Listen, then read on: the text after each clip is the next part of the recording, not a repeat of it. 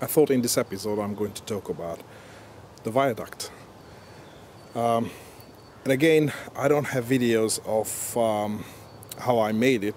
I took some pictures over time um, about how I built the cast and how the how I did the individual arches and then put the whole structure together. So um, I'm going to talk you through the those pictures. And of course, because it is built now, I can show you how it actually worked and um, and how it looks like probably about eight months after the, the build was completed. I always wanted my layout to have um, some sort of main feature. And um, I mean after all I'm a civil engineer and I like you know big structures and bridges. So I thought that maybe the viaduct is going to be something that I, I would need to build. And um, so where I'm standing now is actually I'm standing on the patio. So um, you know looking at the layout this corner on the on the far left side was the ideal spot because it's not obscured by any trees. Uh, so I thought that if I can make it nice, there could be a nice you know view from the house and also from the uh, from the entire backyard. And because this is not this would be something that I would be making, so I thought that maybe I could just use the curve and then build the the viaduct in uh, in this curve.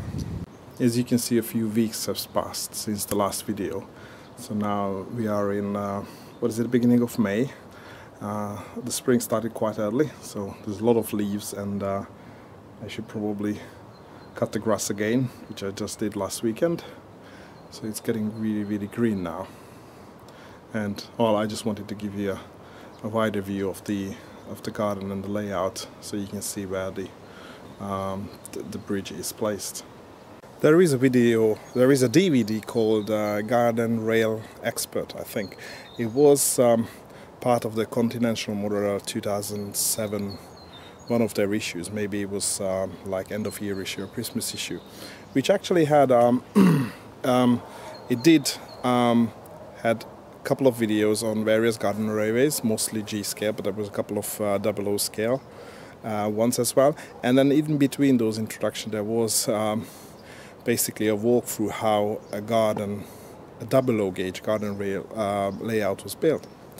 And that featured a viaduct as well. It was um, probably this length, but uh, it was about, you know, maybe um, 30 centimeters tall, so probably third of the height of this one. And that used a technique where basically uh, using two large sheets of plywood or fiber wood uh, fiberboard, um, the the builder basically banked the entire um, viaduct and then uh, cut out styrofoam um, arches, put it in between the, these two boards, and then filled up the entire thing with concrete. So it was a single cast for the entire bridge. And I thought this is something that I would like to do as well.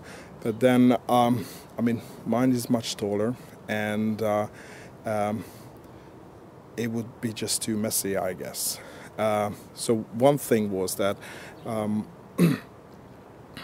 using so many sty I mean, I would need to use so many styrofoam, so probably it would also cost a lot to buy, you know, um, enough for six of these big arches. And uh, this thing probably weighs like, you know, the entire uh, arch, entire viaduct probably weighs about half a ton. So I would need to be really careful how I build the you know the mold and the structure making sure it's not going to buckle or just fall over once I pour the concrete because that would be disastrous.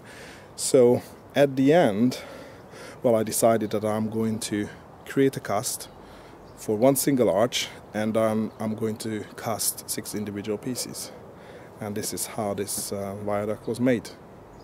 So let me take you through the pictures that I have from last year and uh, see the process step by step and also show you the um, the cast, the mold that I made for these individual arches.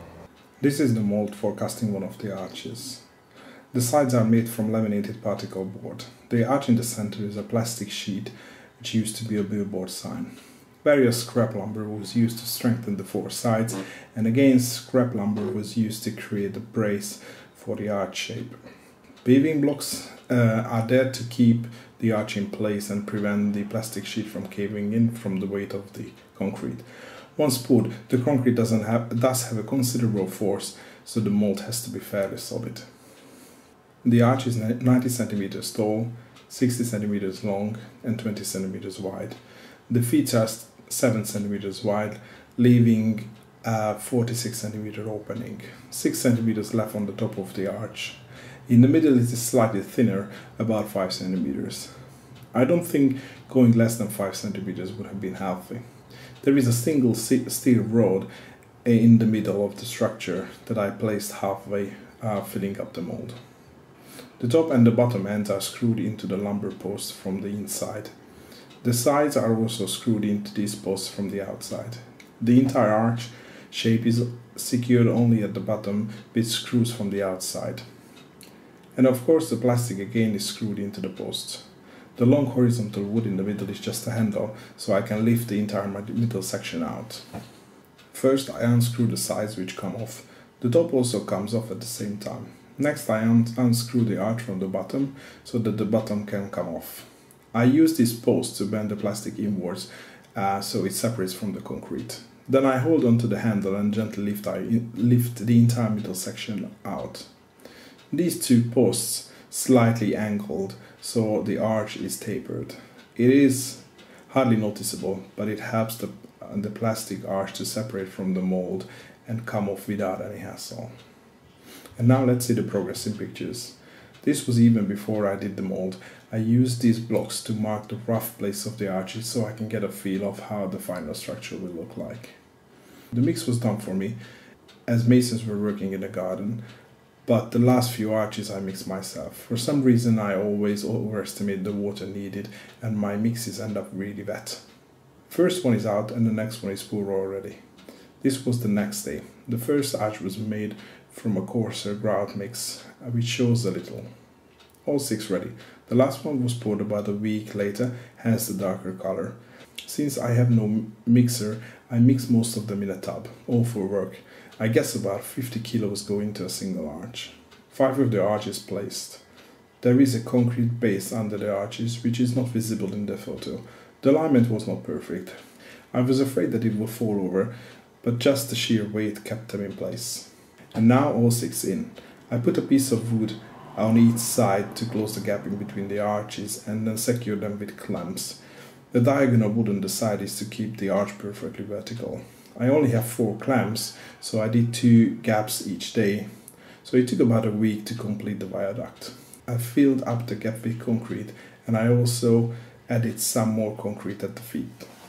Next step was to get the bridge to the same level as the rest of the tract. I used a fiberboard supported by scrap wood to create a fence around the bridge. It was held with clamps, one per arch. This time I borrowed additional clamps from my neighbor. I had some leftover steel bars which I used to strengthen the concrete. As you can see I sort of bent them into uh, the gap. Finally I put the concrete on top. Again my mix was too wet and you can see the result shortly. This is how the bridge looked like after the supports were removed. When pouring the concrete I ensured that it is the same level as the rest of the track, but once the concrete settled, it became slightly lower. Still, not as bad as in some of the other places. Sorry for the quality of this video, I'm just too lazy to bring these parts out of the basement.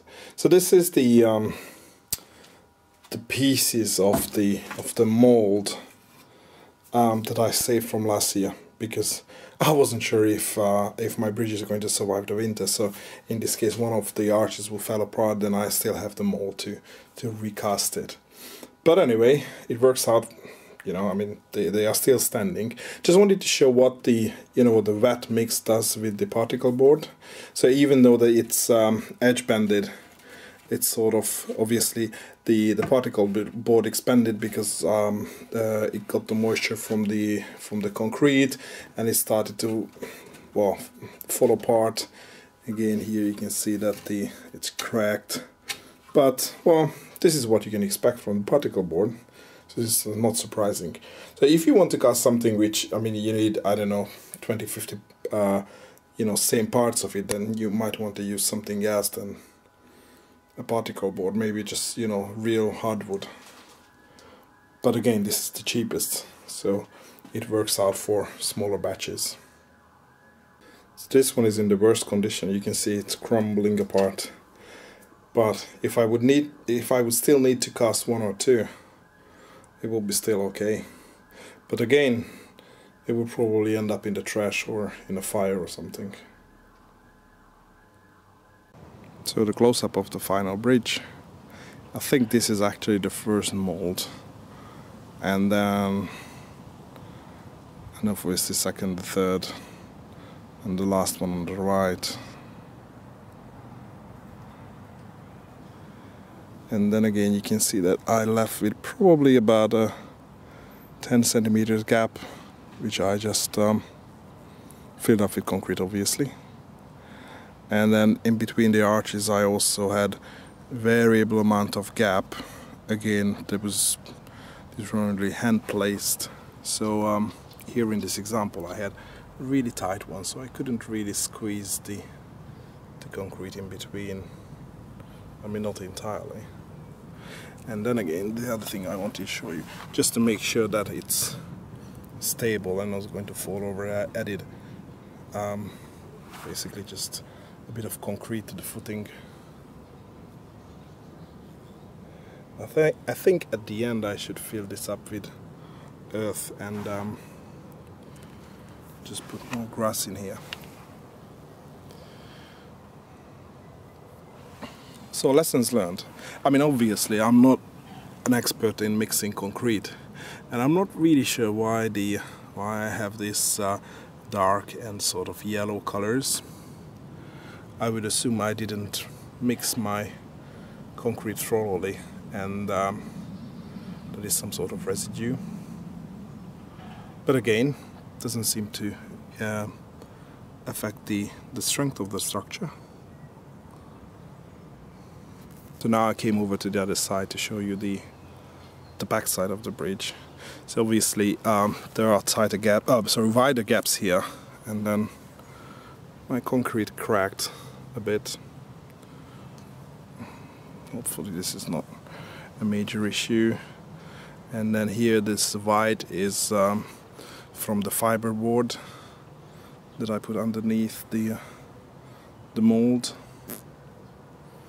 But otherwise I think it's it's quite okay.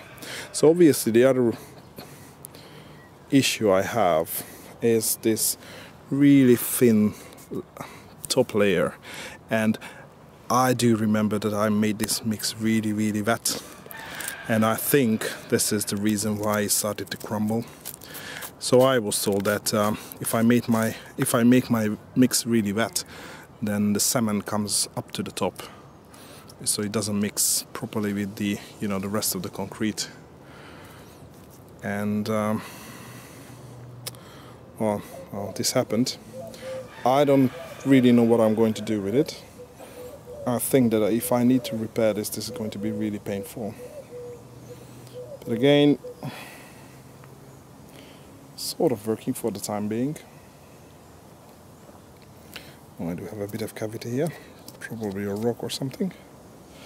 And again, so this was done, I think, midsummer last year. So it did survive one winter. Having said that, winter this year was really calm so I don't remember many frosty nights. We didn't have the usual minus 15 or minus 20, which is probably the lowest that I can get here. What I'm not sure about is what to do next. I mean, how to get this bridge from this sort of industrial look to a, you know, proper finish. So I would well, covering it ties or with you know small bricks would be uh, just um, enormous job, and I'm too lazy to do that. So I was thinking about um, sort of adding like a plaster kind of finish and then painting the whole thing white. Which would be ideal because the background is white, so it would. Uh, sorry, the background is, is is dark, so it would make it you know really stand out. But again, I'm not a mason or anything like that, so I don't know how to do that. Uh, so probably I have to wait and I figure out I need to figure out what I can do, what I can do on my own, or if I need to get some, you know, builders or craftsmen to do it for me. I am really happy the way this structure turned out so far. I will keep you posted if I keep working on this. But for now, thanks for watching and see you in the next episode.